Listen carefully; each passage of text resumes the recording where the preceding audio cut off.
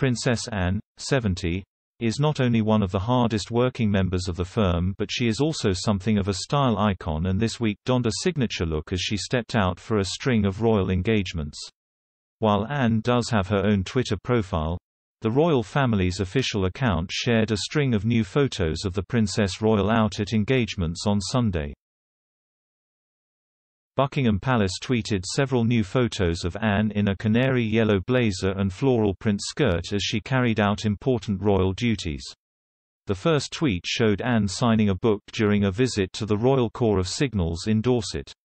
The tweet accompanying the picture read, This week HRH the Princess Royal, Colonel-in-Chief of the Royal Corps of Signals, travelled to Dorset to celebrate the first anniversary of the 13th Signal Regiment. A follow-up tweet added, During the visit, HRH met soldiers who gave an update on the 13th signals. A second tweet showed Anne meeting staff at the GRFU rugby organisation in Gloucestershire. Anne is captured gesticulating heavily in both of the pictures and seems to be enjoying the conversation. The tweet accompanying the two photos read, during the week the Princess Royal also attended a volunteer awards reception for at GRFU Rugby where HRH presented volunteer awards. And a third tweet added, The Princess Royal is patron of the Gloucestershire Rugby Football Union.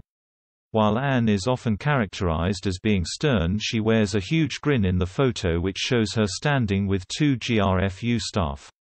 Royal fans flocked to praise Princess Anne on Twitter with many showering compliments on the well-dressed royal. One fan wrote, Look at how they're all smiling at her. This is lovely. Another gushed, I love the Princess Royal.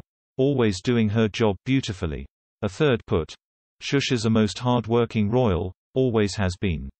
While a fourth agreed, HRH the Princess Royal is one of the hardest working women I have ever known about.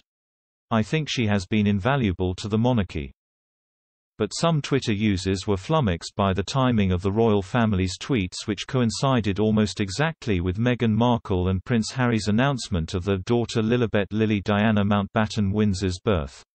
One Twitter user reacted, Um I think you forgot something. While another put, Interesting choice for today. And a third chimed in. Heard Harry and Meghan's happy news. Anything to say?